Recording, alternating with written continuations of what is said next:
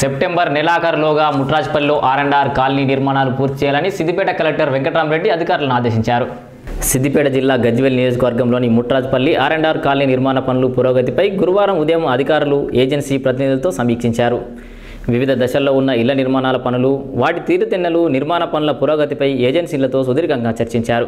Corona నేపథ్యంలో నిర్మాణ పనులు ఆలస్యమైన దృష్ట్యా విడతల వారీగా ఇళ్ళ నిర్మాణాలు పూర్తి చేసేలా ప్రత్యేక దృష్టి సారించాలని ఏజెన్సీలకు కలెక్టర్ ఆదేశించారు.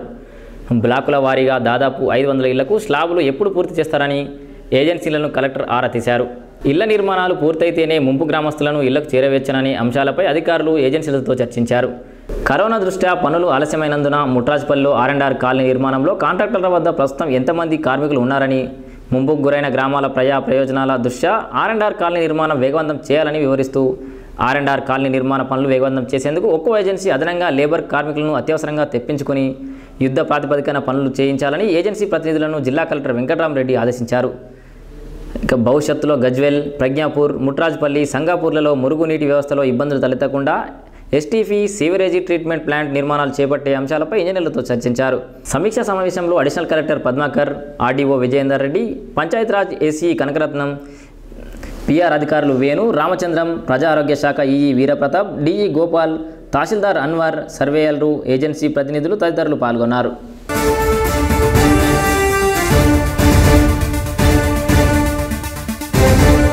రాజన్న సిరిసిల్ల జిల్లా ముస్తాబాద్ మండలం చీకోడు గ్రామంలో సామూహిక గొర్రెల షెడ్ నిర్మాణానికి మండల ప్రజా ప్రతినిధులు భూమి పూజ చేశారు.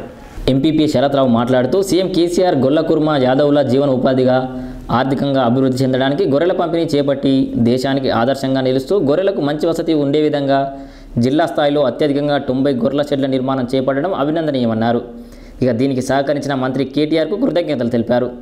ఈ కార్యక్రమంలో గ్రామ సర్పంచ్ చెర్లపల్లి రజితా సుధాకర్ రెడ్డి జడ్పీటీసీ గుండం నరసయ్య రైతు బంధు అధ్యక్షులు Kalvakuntla Gopalarao MPTC Savitha Anjaneyulu sys director Vijayaramarao market committee chairman Yadi Mallesh మాజీ ఎంపీపీ అక్కరాజు శ్రీనివాస్ ఉప సర్పంచ్ నాగరాజు తెరస అధ్యక్షులు సురేందర్రావు జిల్లా అధికారులు ZP CEO Gautam Reddy DPO Ravinder PD Kautilya Reddy తహసీల్దార్ విజయ్ ఎంపీడీఓ మదన్ మోహన్ స్థానిక యాదవ సంఘం సభ్యులు వార్డు సభ్యులు సంబంధిత శాఖ అధికారులు తదితరులు పాల్గొన్నారు.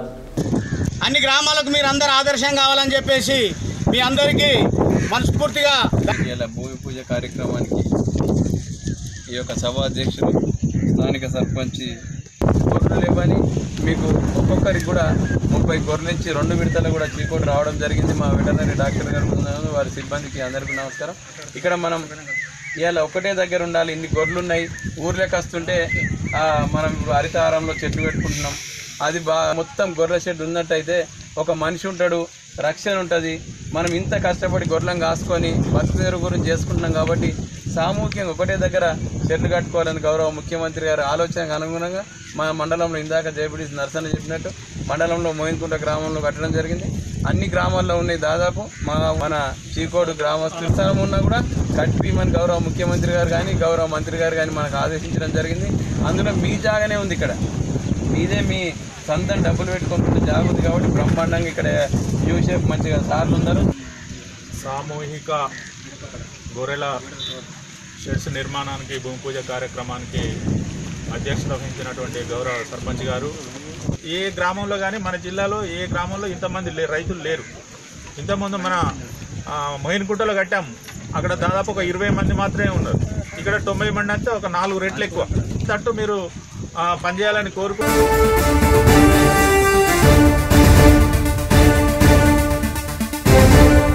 కరోనా వైద్యాన్ని ఆరోగ్యశ్రీ కింద చేర్చాలని బచ్చన్నపేట మండల సిపిఎం కార్యదర్శి గొల్లపల్లి బాపురెడ్డి డిమాండ్ చేశారు. అనంతరం బాపురెడ్డి మాట్లాడుతూ కరోనా వైద్యాన్ని ఆరోగ్యశ్రీ కింద చేర్చాలని మండలంలోని ప్రతి ఒక్కరికి వైరస్ పరీక్షలు నిర్వహించాలని అందుకు ఆసుపత్రిని ఉపయోగించాలని వైద్య ఆరోగ్య శాఖలో ఖాళీగా ఉన్న పోస్టులను భర్తీ చేయాలని ప్రైవేట్ ఆసుపత్రులను ప్రభుత్వం స్వాధీనం చేసుకుని కరోనా వైద్య కేంద్రాలుగా వాడుకోవాలని పిలుపునిచ్చారు. ఇక సీజనల్ వ్యాధులు ప్రబలకుండా గ్రామాల్లో మెడికల్ హెల్త్ క్యాంపులు ఏర్పాటు చేయాలని అందుకు మొబైల్ వైద్య వాహనాలు ఏర్పాటు చేయాలని డిమాండ్ చేశారు. ఈ కార్యక్రమంలో బెల్లంకొండ వెంకటేష్ మినలాపురం ఎల్లయ్య అన్నెబోయిన శ్రీనివాస్ సనాది రామచంద్రం అమృతం వినయ్ రఘురామయ్య కుందెన శ్రీనివాస్ మల్లేశం తమ్ముడి మహేష్ తదితరులు పాల్గొన్నారు. రాష్ట్ర కమిటీ ఇచ్చిన పిలుపు మేరకు బచ్చనపేట మండల కేంద్రంలో గల ప్రభుత్వ దవాఖానా ఎదురుగా కరోనా వైద్యాన్ని ఆరోగ్యశ్రీ కింద చేర్చాలని వైద్య ఆరోగ్య శాఖలో ఖాళీగా ఉన్న పోస్టులన్నింటినీ భర్తీ చేసి ప్రజలందరికీ మండల కేంద్రంలో కరోనా వైద్య పరీక్షల కేంద్రాన్ని ఏర్పాటు చేసి ప్రతి కుటుంబంలోని వ్యక్తికి కరోనా వైద్య పరీక్షలు నిర్వహించి కరోనా వ్యాప్తిని అరికట్టాలి. ఇక్కడ ఉన్నటువంటి రాష్ట్ర ప్రభుత్వం కానీ జిల్లా యంత్రాంగం కానీ కరోనా వ్యాప్తి నిరోధకంలో తగిన పాత్ర పోషించడం లేని పేరుతోటి ఈరోజు మన బచ్చనపేట మండల కేంద్రంలో ఈ సత్యాగ్రహం కార్యక్రమాన్ని మేము సిపిఎం పార్టీగా నిర్వహించదలిచినాం. అంతేకాకుండా మన జిల్లా కేంద్రంలో గల ఆసుపత్రిలో కరోనా వైద్య పరీక్షల కోసం ఐసోలేషన్ వార్డును ఏర్పాటు చేసి ప్రజలకు మెరుగైన వైద్య సౌకర్యాన్ని అందించాల్సిన బాధ్యత ప్రభుత్వం మీద ఉన్నది. అంతేకాకుండా రాష్ట్రంలో ప్రైవేట్ ఆసుపత్రులు కరోనా వైద్యం పేరుతోటి లక్షలాది రూపాయలు ప్రజల నుండి ముక్కుపిండి వసూలు చేస్తున్నారు. ప్ర- ప్రైవేట్ హాస్పిటల్ కూడా ప్రభుత్వం స్వాధీనం చేసుకొని క్వారంటైన్ కేంద్రాలుగా ఐసోలేషన్ కేంద్రాలుగా ఏర్పాటు చేయాలని సిపిఎం పార్టీగా డిమాండ్ చేస్తున్నాం. మండల కేంద్రంలో గల ముప్పై పడకల ఆసుపత్రిని ప్రభుత్వ ప్రభుత్వం వెంటనే ఐసోలేషన్ కేంద్రంగా పరిగణించి మండలంలో విస్తృతంగా కరోనా వైద్య పరీక్షలు నిర్వహించి ఇక్కడనే వైద్యం చేయాలని సిపిఎం పార్టీగా డిమాండ్ చేస్తున్నాము. ఈరోజు పక్కనున్నటువంటి సిద్దిపేట జిల్లాలో వంద పడకల ఆసుపత్రిని ఏర్పాటు చేశారు జనగామ జిల్లా కేంద్రంలో గల ఆసుపత్రిని కూడా ప్రభుత్వం కోవిడ్ నైన్టీన్ ఆసుపత్రిగా మార్చి ప్రజలకు వైద్యం అందించాలని డిమాండ్ చేస్తున్నాం.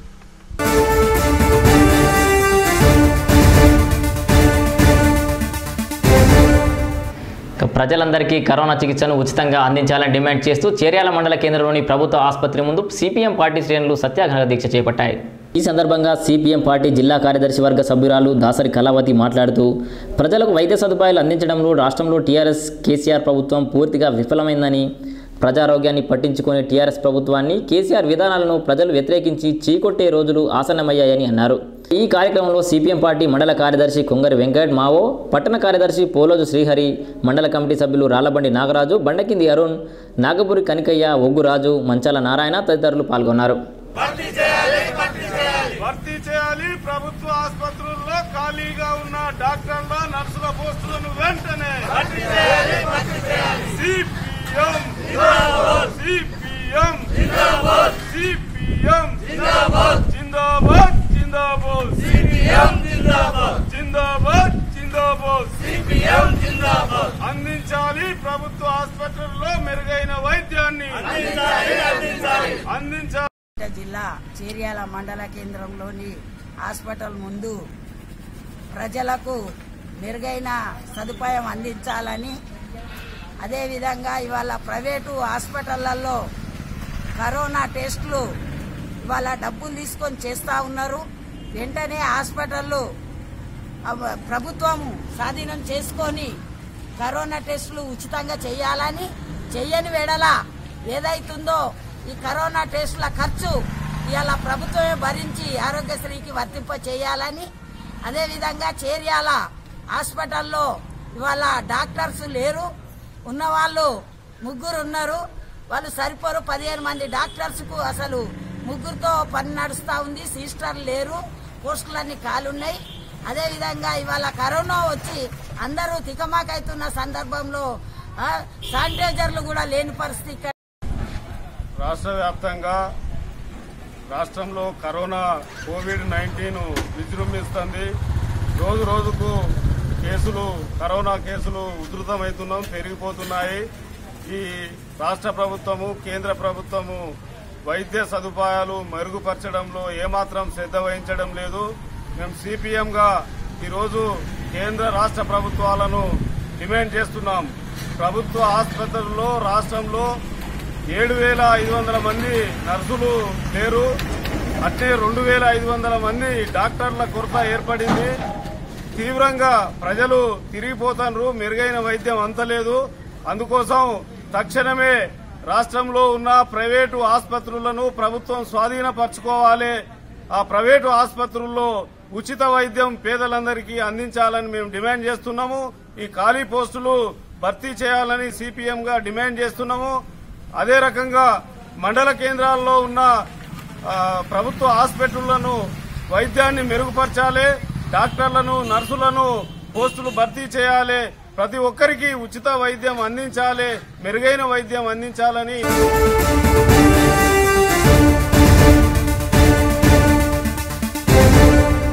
చట్టానికి లోబడే ఆగ్రోస్ ఫర్టిలైజర్స్ షాపులు కొనసాగించాలని చట్టాన్ని ఉల్లంఘిస్తే ఎవరిని సహించేది లేదని ఏడీఏ శ్యాంసుందర్ హెచ్చరించారు. సిద్దిపేట జిల్లా మిరుదొడ్డి మండలం మోతె గ్రామానికి చెందిన నరసింహారెడ్డి అనే రైతు ఫిర్యాదు మేరకు ఏడీఏ శ్యాంసుందర్ వ్యవసాయ అధికారులతో కలిసి నారుమడిని పరిశీలించారు. నారుమడికి ఇసుకలో కలిపి చల్లించాల్సిన మందును ఆగ్రోస్ నిర్వాహకుల సూచన మేరకు స్పేదారా పిచికారీ చేయడంతో నారుమడి దెబ్బతిందని ఏడీఏ తెలిపారు. ఇక ఆగ్రోస్లో పనిచేసే నిర్వాహకులకు అవగాహన లేకపోవడంతో రైతులకు నష్టం వాటిల్లేదని అన్నారు. ఇక రైతు నష్టపోయిన నారుమడిని షాంపిల్తో పాటు ఆగ్రోస్లో కొనుగోలు చేసిన మందులను ల్యాబ్కు పంపించి వచ్చిన రిపోర్టుల అనంతరం తదుపరి చర్యలు తీసుకుంటామని తెలిపారు. ఇక ఎవరైనా ఆగ్రో ఫర్టిలైజర్ నిర్వాహకులు ఇతర వ్యక్తుల ద్వారా మందులను రైతులకు విక్రయిస్తే చట్టరీత్యా చర్యలు తీసుకుంటామని హెచ్చరించారు. లైసెన్స్ కలిగిన నిర్వాహకులే దుకాణాల్లో ఉండి రైతులకు మందులను విక్రయించాలని అన్నారు. చట్టాన్ని ఎవరైనా ఉల్లంఘిస్తే చర్యలు తీసుకుంటామని అన్నారు. ఈ కార్యక్రమంలో సర్పంచ్ కాలేరు శ్రీనివాస్ ఏఈఓ సమ్రీన్ ప్రశాంత్ రైతులు పలువురు పాల్గొన్నారు. అనంతరం ఏడీఏ శ్యాంసుందర్ తన సిబ్బందితో కలిసి మిర్దొడ్డులోని ఆంగ్రోస్ రైతు సేవా కేంద్రం తనిఖీ చేశారు. తనిఖీల్లో కొన్ని లోపాలను గుర్తించామని సీడ్ పెస్టిసైడ్ ఫర్టిలైజర్లకు స్టాఫ్ సేల్స్ ఇవ్వడం జరిగిందని తెలిపారు. వాటి రికార్డులను రేపటిలోగా అందించాలని ఏడీఏ ఆగ్రోస్ నిర్వాహకుడికి సూచించారు. రికార్డులు చూపని ఏడలా ఉన్నతాధికారుల ఆదేశాల మేరకు చర్యలు తీసుకుంటామని తెలిపారు. చిందాల నరసింహారెడ్డి మరి ఇక్కడ బీపీటీ నారు పోసుకోవడం జరిగింది.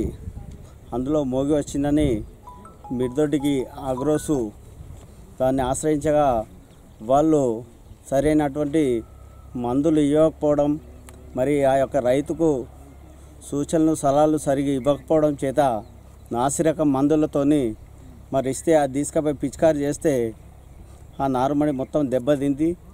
మరి దాని విషయంలో మరి ఇతను ఆ యొక్క ఆగ్రోసు యజమాని మరి అన్న మరి ఇట్లా మరి దెబ్బతిన్నది నష్టపరిహారం జరిగింది. మరి ఏంది గిట్లయింది నేను ఇప్పుడు నాటేసుకున్న టైంలో నాకు ఇబ్బంది జరుగుతుందని మొరబెట్టుకుంటే ఆయన మీదకి ఇష్టం వచ్చినట్టు ప్రవర్తించడం ఇష్టం వచ్చినట్టు బూతు మాటలతోనే నువ్వు ఏం ఏం చేసుకుంటావు చేసుకోపోవు నువ్వు ఎవరు చెప్తావు చెప్పుకో కేసు పెట్టుకుంటావు పెట్టుకోపో అని ఈ విధంగా ఒక రైతు మీద ప్రవర్తించడం చాలా దుర్మార్గమైనటువంటి చర్య. మరి ఏ రైతుకు కూడా నీ ఆగ్రోస్కి వస్తే మరి స్పందించాలి. ఎంత కోపంగా వచ్చినా కానీ నువ్వు శాంతింపజేసి అన్నా మీకు మేమున్నాం ధైర్యం అధైర్యపడొద్దు అని నువ్వు దగ్గర తీసుకొని అది చెప్పాలి కానీ ఇట్లా ప్రవర్తించినందుకు మరి సంబంధిత మరి ఏఓ గారికి ఏడి గారికి మేము కాంప్లిమెంట్స్ ఇచ్చేయడం జరిగింది. మరి చట్టపరమైనటువంటి ఏదైతే నాసిరకం మందులు ఇచ్చిరో వారిపైన చట్టపరమైనటువంటి చర్యలు తీసుకోవాలి. ఈ ఆగ్రోస్ యజమానులు కూడా మరి అక్కడ పిల్లల్ని కూర్చుండబెట్టి వాళ్ళకి ఎలాంటి అనుభవం లేనటువంటి వాళ్ళని కూర్చోబెట్టి మరి వాళ్ళకు రైతులకు సూచన సలహాలు ఇవ్వకుండా ఈ మందు కాగానే అది ఇవ్వడం అనేటువంటిది దాంతో ఇట్లా జరుగుతుంది కాబట్టి దీని మీద స్ప వెంటనే అధికారులు స్పందించి మరి ఆ యొక్క ఆగ్రోస్ మీద ఆ యొక్క ఇచ్చినటువంటి ఆ కంపెనీ వాళ్ళపైన చట్టపరమైనటువంటి చర్య తీసుకోవాలని మేము మా గ్రామ ప్రజల తరఫున నేను కోరుతున్నాను. ఆగ్రో రైతు సేవా కేంద్రం మిడిదొడ్డి వన్ అనేది క్షుణ్ణంగా స్టాక్ వెరిఫికేషన్ చేయడం జరిగింది. తనిఖీలు ఏఓ ఏఈఓ అందరూ ఇక్కడికి వచ్చి తనిఖీ చేయడం జరిగింది. తనిఖీలో కొన్ని లోపాలు ఉన్నట్టు కూడా గుర్తించడం జరిగింది. వాటికి సంబంధించిన సీడు ఫర్టిలైజర్ పెస్టిసైడ్ వీటన్నిటి కూడా స్టాప్ సేల్ ఇవ్వడం జరిగింది. రేపటి వరకు దానికి సంబంధించిన రికార్డ్స్ అన్ని కూడా ప్రొడక్షన్ ప్రొడ్యూస్ చేయమని చెప్పినాం ఏ ఆఫీస్లో. ఒకవేళ కరెక్ట్గా రికార్డ్స్ రేపు ప్రొడ్యూస్ చేయలేకపోతే ఆల్రెడీ శాంపుల్ కూడా డ్రా చేశాము. ఇంతకుముందు జరిగిన రైతు ఇచ్చిన కంప్లైంట్ మేరకు శాంపుల్ డ్రా చేయడం జరిగింది. ఆ శాంపుల్ కూడా రేపు ఏఓ గారు రాజేంద్ర నగర్ ల్యాబొరేటరీకి పంపించడం జరుగుతుంది. ఒకవేళ కరెక్ట్గా రికార్డ్స్ సబ్మిట్ చేయలేకపోతే మాత్రం ఎల్లుండి నుంచి చట్టపరమైన చర్యలు తీసుకోవడం జరుగుతుంది. ఈ మ్యాటర్ అంతా కూడా ఆల్రెడీ డిఓ గారికి సబ్మిట్ చేయడం జరిగింది. ఈరోజు సాయంత్రానికి పూర్తి నివేదిక డిఓ గారికి కూడా సబ్మిట్ చేయడం జరుగుతుంది. రెల్లుండి ఒకవేళ రికార్డ్స్ అన్ని కరెక్ట్గా సబ్మిట్ చేయలేకపోతే చట్టపరమైన చర్యలు తీసుకోవడం జరుగుతుంది.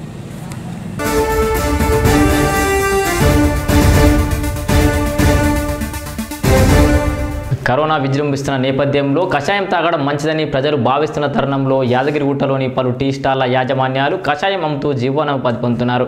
ఇక యాదగిరిగుట్టలో రోజురోజుకు కరోనా విజృంభిస్తున్న సందర్భాల్లో ఎన్నో వ్యాపార వాణిజ్య సంస్థలు రోడ్డున పడ్డాయి. యువత కొత్త తరహా ఆలోచనతో జీవనోపాధి కోసం ఏదో విధంగా కస్టమర్లను కాపాడుకోవాలని ఆలోచనలో పడ్డారు.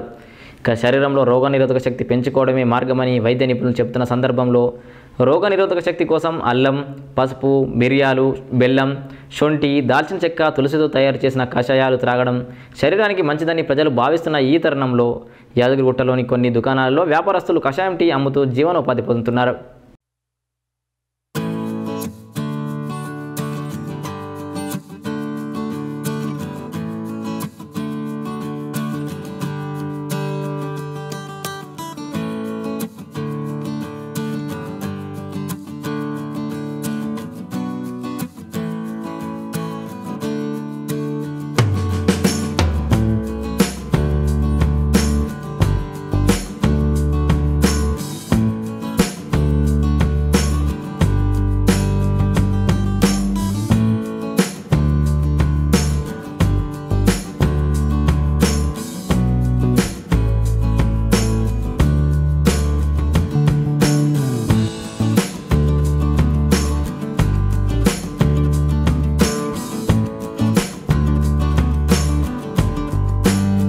పుణ్య ప్రదీప్ మాది యాదగుట్ట మా parlour Sri Yadadri milk parlour.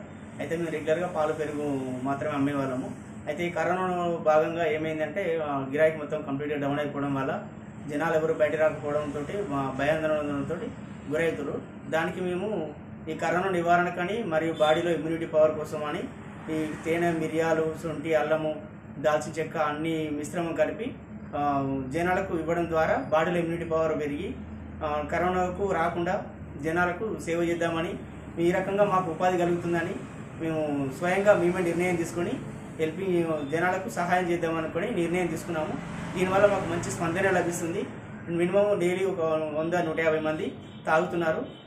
దానివల్ల అందరూ సాటిస్ఫైడ్గానే ఉండి ఉండి ఇతరులకు కూడా చెప్పడం జరుగుతుంది. వేరే వాళ్ళు కూడా వచ్చి మా షాప్కు బాగుందని చెప్పడం వల్ల మేము చాలా ఆనందాన్ని వ్యక్తం చేస్తున్నాము.